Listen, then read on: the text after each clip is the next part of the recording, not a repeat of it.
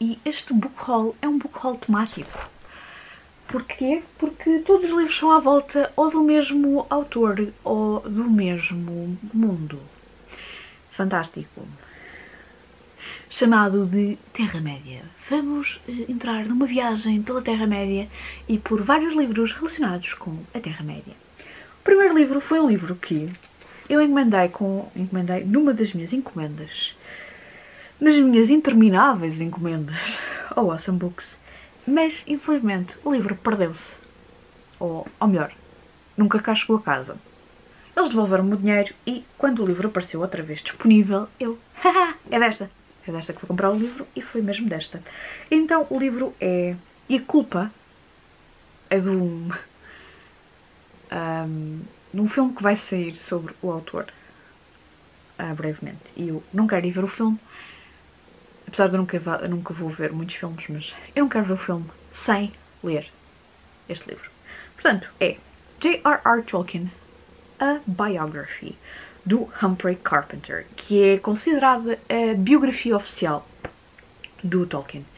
Uh, eu já estava para comprar há muito tempo, já namorei várias edições, Uh, não conhecia esta edição assim tão, tão, tão pequena de bolso com, e com esta capa que eu por acaso até gosto bastante.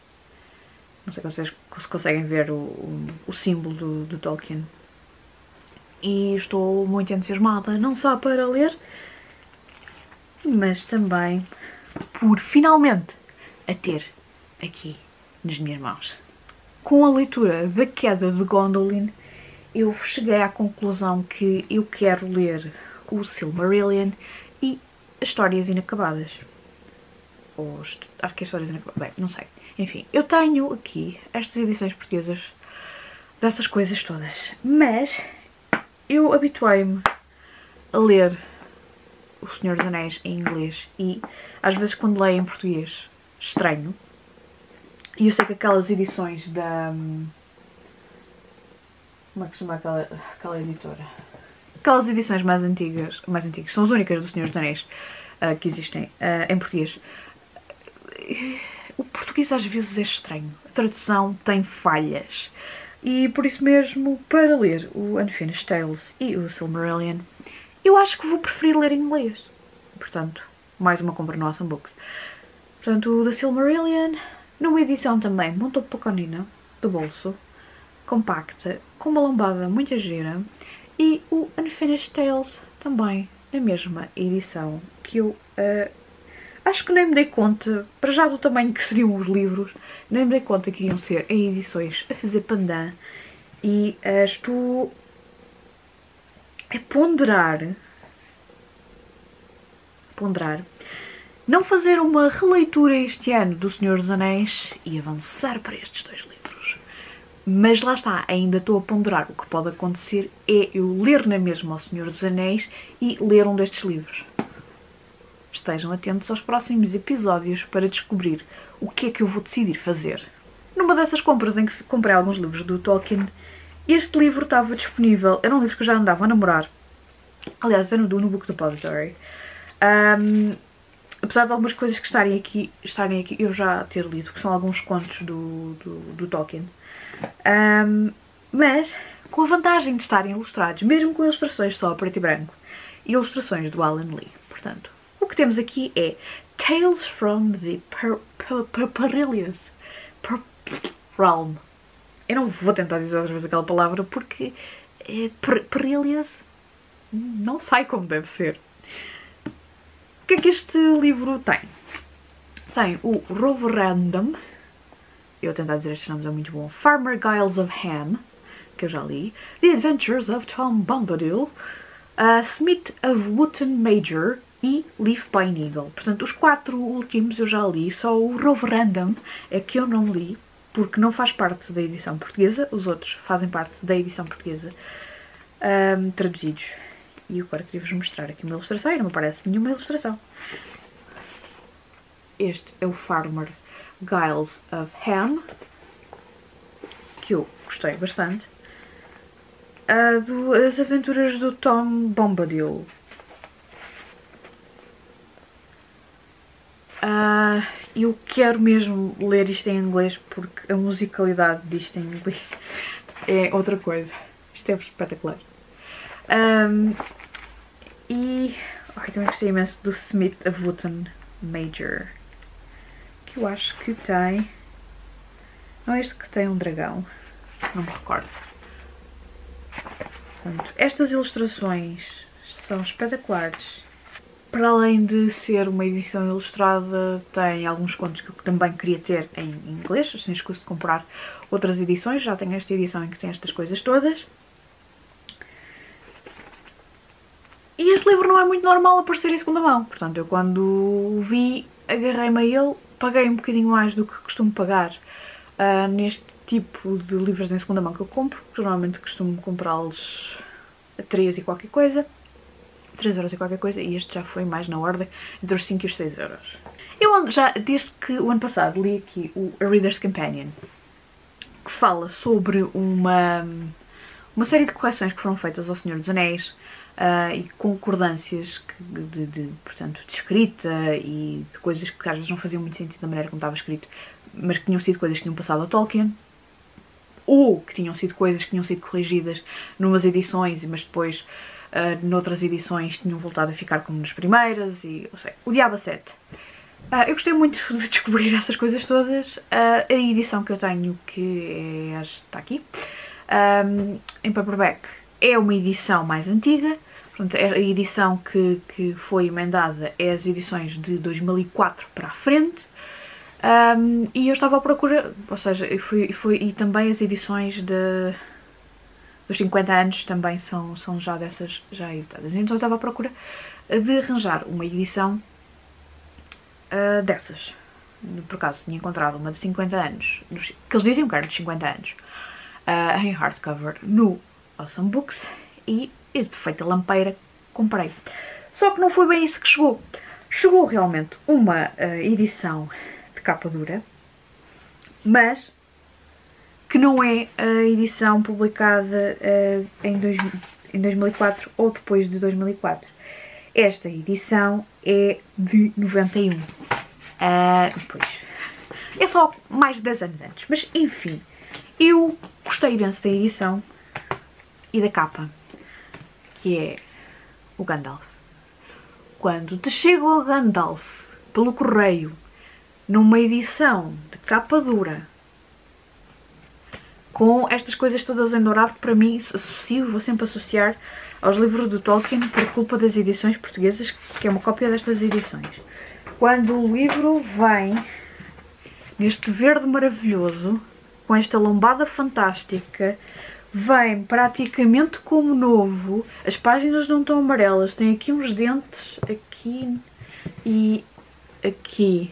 O resto do livro está em perfeito estado, com páginas que não são de papel bíblia, uma pessoa não vai mandar o livro para trás, nem vai protestar, porque esta edição é absolutamente maravilhosa. E eu não me arrependo do dinheiro que gastei nela. Se era a edição que queria. Não, não era a edição que queria. O que se mete o problema é que eu ainda quero aquela edição. Se eu preciso de mais edições do Senhor dos Anéis, não. Mas eu quero. Até porque ainda não tenho a edição com, com as ilustrações do Alan Lee, portanto... Ai. Agora, vocês digam-me que isto não é um grande negócio. Este livro novo custava 25 libras. Eu paguei 6 euros por este livro. Que está em perfeito estado. E não cheira muito mal. Mas não é dos piores. O outro que vou-vos mostrar a seguir está bem pior. Portanto, agora estou num dilema que é vejo-me livre desta edição. Aliás, isso é uma das razões porque me vou livre. Eu tinha, tinha ainda tenho, porque ainda não me vi livre dela. Uma edição do Hobbit com a capa do... com a capa do filme, do primeiro filme. Um, que está em perfeito estado, está praticamente como novo mas o espaço aqui na estante está a acabar e eu não vou pôr, uh, não vou arranjar mais espaço para o Tolkien porque ele vai ter que se ver, uh, vai ter que se virar aqui neste sítio. Já estou a mandar coisas ao chão. Uh, portanto, uma das soluções seria ver-me livre da minha cópia de paperback do Senhor dos Anéis e da do Hobbit. O problema é que a do Hobbit eu não tenho problemas nenhums em oferecer ou vender porque ela está em bom estado, mas aquela não está nem para dar a ninguém, porque aquilo não está em condições, já, já o comprei assim, uh, aquilo parece que andou na guerra e que não sobreviveu muito bem à guerra. Não está a perder folhas, mas parece que andou mesmo na guerra. Uh, portanto, é um problema, porque se eu uma vez quiser mais uma edição do Senhor dos Anéis, ou se quiser mais um livro que eu quero uh, destas séries de, de coisas do Tolkien, é um grande problema porque o espaço está a acabar. E há edições que eu não vou ver livre, como por exemplo aquelas edições americanas do Senhor dos Anéis dos anos 60, que eu não vou ver livre delas. Se eu alguma vez vou ler aquele, aquele, naquela edição. Não. Mas eu não vou ver livre delas porque elas têm uma capa muito, muito gira e porque uh, têm uma história. A história é que o Tolkien estava às ilustrações da capa, portanto não, não tem nada a ver com o Senhor dos Anéis. Porque aquilo foi comissariado à ilustradora que ilustrou aquelas capas com tão pouco tempo que ela nem teve tempo de ler a obra nem saber muito bem do que é que ia ilustrar. Mas, no entanto, tive que fazer as capas. Histórias interessantes. O último livro também foi um achado no Awesome Books e este é um preço muito, muito simpático. É o The Children of Húrin, do J.R.R. Tolkien, com ilustrações do Alan Lee, em capa dura. Capa dura em excelente estado. Pronto, uh, não é deste pano. É assim. Não é forrado em tecido, como outros que eu tenho do Senhor dos Anéis, mas é, é em papel, portanto isto não aguenta muito bem o manuseamento. Tem... Estão a ver estes... Não sei se vocês conseguem ver. Estes riscos todos que aparecem aqui na lombada. Isto é tudo ilustrações do Alan Lee. Foi uma das razões de eu querer estas edições, especialmente depois de ler A Queda de Gondolin. Não faço a mínima ideia o que é que isto seja, mas é uma das ilustrações que aparece neste livro. Uh, este livro só tem um grande defeito, um pivete. Um, este livro teve num armazém, de certeza, ou num sítio em que apanhou imensa umidade. Cheira muito, muito mal. Muito, mas mesmo muito mal. Um, mas pronto, tenho mais uma edição fantástica com as ilustrações do Alan Lee. Só me falta da Brandon Luthen, que vai ser a próxima coisa a ver cá para casa. E apesar de, como eu digo, eu normalmente não sou fã de coisas de hardcover. Coisas, não são coisas, são livros de hardcover. Vamos falar em português, uma falda de capa dura. Livros de capa dura não são a minha praia, mas os livros do Tolkien são uma exceção. E tivesse o Rios Dinheiro eu até comprava, eram as edições de uh, colecionador que são uh, com capas de tecido e uh, dura, capa dura e são extremamente duradouras. são livros para a pessoa que a pessoa pode manusear infinitas vezes e saber que elas não se vão desfazer na mão. Mas cada uma custa 50 euros para cima, portanto. Eu já comprei a história da Terra-média e já gastei um valor de dinheiro nisso, portanto não creio que vá comprar nunca essas edições, até porque já tenho estas, portanto agora neste momento não preciso mais, e não ser mais uma edição do Senhor dos Anéis, ilustrada pelo Alan Lee. E só tenho que decidir qual é que quero, provavelmente vai ser a edição que vai ser só numa, num livro, é, por questões monetárias, obviamente, porque a versão que tem três volumes são 150 euros, 160 Quer dizer, é normal, quer dizer, estes livros com, que têm ilustrações a cores, e não sei se terá também ilustrações a preto e branco, por exemplo, isto, isto é caro de imprimir, e depois como é uma edição de capa dura, todas as XPTO, não sei, é caro, eh, tem que ser caro o livro. Mas custa dar esse dinheiro, tá? Custa um bocadinho, portanto, uh, provavelmente será o volume tem o, Senhor dos Anéis todo num, num, volume só e será esse com ilustrações do Alan Lee que entretanto irá viver cá para casa nos próximos anos. Porque isto agora uh, chegou de comprar livros... De... Bem, Baranan Lucian terá que vir primeiro, que é para ter assim todos os livros ilustrados do Alan Lee. Enfim, foi Tolkien a mais acham que eu devia parar de comprar livros do Tolkien? Digam-me tudo nos comentários e até o próximo vídeo.